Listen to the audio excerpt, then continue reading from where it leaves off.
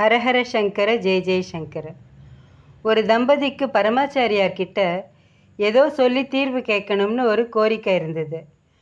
ஆனால் அவ ஆச்சாரியா முன்னால் வந்து நின்னதும் எதுவும் சொல்கிறதுக்கு முன்னாடியே குங்கும பிரசாதத்தை கொடுத்து அவளை அனுப்பிட்டார் ஆச்சாரியா.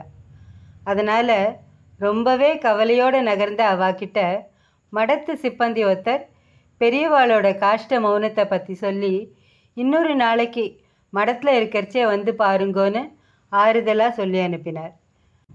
மறுபடியும் அதே தம்பதிகள் இன்னொரு நாள் மடத்துக்கு வந்தா வரிசையில் நின்று அவளோட முறை வந்தது.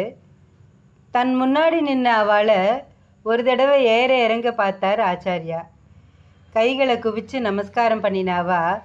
தங்களோட குறைய சொல்ல நினச்சி பெரியவா எங்க? அப்படின்னு ஆரம்பித்தது தான் தாமதம். சட்டுன்னு நிறுத்துங்கோங்கிற மாதிரி கையை காட்டினார் பரமாச்சாரியா என்னடா இது? நம்ம பிரச்சனைக்கு தீர்வே இல்லையோ? சொல்கிறதுக்கு முன்னாடியே வேண்டாம்னு தடுக்கிறாரே பெரியவா. காரணம் என்னவா இருக்கும்னு அவா திகச்சு நின்னா. சுற்றி இருந்தவா ஆச்சாரியா அவளை தடுத்ததுக்கு காரணம் என்னன்னு தெரிஞ்சுக்க ஆர்வப்பட்டா. ஆனால் இதெல்லாம் எதையும் கவனிக்காதவர் மாதிரி நீங்கள் ரெண்டு பேரும் இப்போ திரும்பி போங்கோ. தங்கத்தால் சின்னதாக ஒரு வேல் பண்ணி எடுத்துட்டு அப்புறம் இங்கே வாங்கோ அப்படின்னார் மகா பெரியவா வந்தவாளுக்கு ஒரே குழப்பம். நாம் சொல்ல வந்ததை ஏன் பாதியிலேயே தடுத்தார்? ஒருவேளை அதுக்கு தீர்வே இல்லையோ? போன தடவை மௌன விரதம்னு பேசாமல் இருந்துட்டார். இந்த தடவையும் அப்படி ஆயிடுத்து. ஏதாவது தெய்வ குத்தமாக இருக்குமோ? எதுக்காக வேல் பண்ணி எடுத்துட்டு வர சொல்கிறாருன்னு புரியல. சரி தங்களோட கோரிக்கை என்னன்னு கேட்டுட்டு இதை சொல்லியிருந்தாலாவது அதுக்கான பரிகாரம்னு நாம் நினச்சிக்கலாம். ஆனால் அதை கேட்டுக்காமலே சொல்கிறாரு இது எதனால் இருக்கும்? அப்படின்னெல்லாம் அவள் ரொம்ப குழம்பினான் சரி எல்லாம் தெய்வ சித்தம். நாம் போயிட்டு வேல் பண்ணி எடுத்துட்டு வந்து பார்ப்போம் அப்போவாவது கோரிக்கையை கேட்டுண்டு தீர்வு சொன்னார்னா போதும் அப்படின்னு நினச்சிண்டு ரெண்டு பேரும் புறப்பட்டா. பத்து பதினஞ்சு நாள் கழித்து பெரியவா சொன்ன மாதிரியே தங்கத்தால் சின்னதாக வேல் பண்ணி எடுத்துட்டு வந்தா அந்த தம்பதி. வரிசையில் நின்று அவளை பார்த்த பெரியவா கிட்ட கூட்டிகிட்டு வரும்படி ஒரு சீடனை அனுப்பினார். பெரியவா நீங்கள் சொன்ன மாதிரியே வேல் பண்ணி எடுத்துட்டு வந்துட்டோம். தம்பதிகள் பேச ஆரம்பிக்கிறச்சேயே இந்த முறையும் அவளை எதுவும் சொல்ல வேண்டாங்கிற மாதிரி கையை காட்டினார் பரமாச்சாரியா இந்த வேலை உங்கள் ஆற்றுல பூஜை அறையில் வச்சு தினமும் பசும்பாலால் அபிஷேகம் பண்ணு.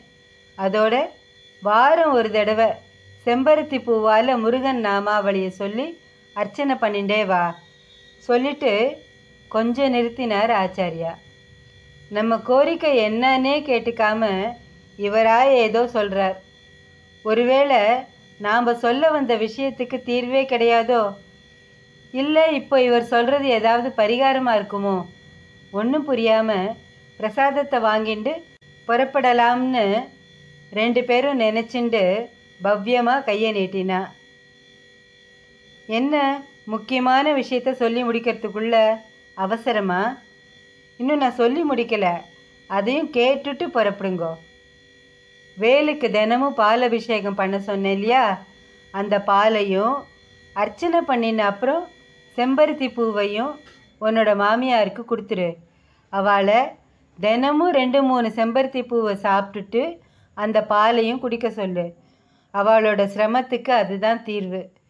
பரமாச்சாரியா சொல்ல சொல்ல அப்படியே திகைச்சு போய் நின்னா அந்த தம்பதி. அவள் ரெண்டு பேரோட உடம்பும் சிலிர்த்துண்டு அந்த ஆச்சரியத்தில் லேசாக நடுங்கித்து. கொஞ்ச நாழி கழித்து சுய நினைவுக்கு வந்தவா ஆச்சாரியால நமஸ்காரம் பண்ணினா சாத்துக்குடி பழம் ஒன்றை தந்து அவளுக்கு ஆசீர்வாதம் பண்ணினார் ஆச்சாரியா. வரிசையில் நின்றுருந்த எல்லாரும் அவளோட திகைப்புக்கு காரணம் கேட்க என்னோட மாமியாருக்கு ரெண்டு மூணு வருஷமாகவே அடிக்கடி வயிற்று வலி வந்து பாடாப்படுத்தின்னு இருந்தது சமீப காலமாக அந்த வலி அவளுக்கு நிரந்தரமாகவே ஆயிடுத்து. பார்க்காத வைத்தியம் இல்லை வேண்டாத சாமி இல்லை. ஆனாலும் தினமும் அவள் துடிக்கிறத பார்க்கறச்சே எனக்கே தாங்க முடியல. தாயாரோட கஷ்டத்தை பார்க்க சகிக்காம இவரும் வேதனைப்பட்டுருக்கார் பெரியவா கிட்ட சொன்னால் தீர்வு கிடைக்கும்னு தெரிஞ்சவா சொன்னா அதான் வந்தோம். பரமாச்சாரியா எங்களை பேச விடாமல் தடுத்தப்போ மனசுக்கு ரொம்ப கஷ்டமாக இருந்தது. ஆனால் இப்போ பேச முடியாமல் நாக்கு தழி தழிக்க கொஞ்சம் நிறுத்தினான் இப்போ நாங்கள் எதையும் சொல்லாமல் அவராகவே என் மாமியாரோட பிரச்சனைக்கு தீர்வு சொல்லியிருக்கார். இப்படி கண்ணுக்கு முன்னால் நடமாடுற தெய்வத்தை நாம் சொன்னதை கேட்கலையேன்னு தப்பாக நினச்சிட்டோமேன்னு அதை நினச்சா அழுக அழுகியாக வருது சொல்லி முடித்தா அப்புறம் பெரியவா இருந்த திசை பக்கமாக திரும்பி நமஸ்காரம் பண்ணிட்டு புறப்பட்டா. கொஞ்ச நாள் கழித்து அந்த தம்பதி திரும்ப வந்தா. பெரியவா உங்கள் அனுகிரகத்தால் என் மாமியாரோட வயிற்று வலி பரிபூரணமாக குணமாயிடுத்துன்னு பெரியவா கிட்ட சொன்னான் இதெல்லாம் என்னோட வேலை இல்லை.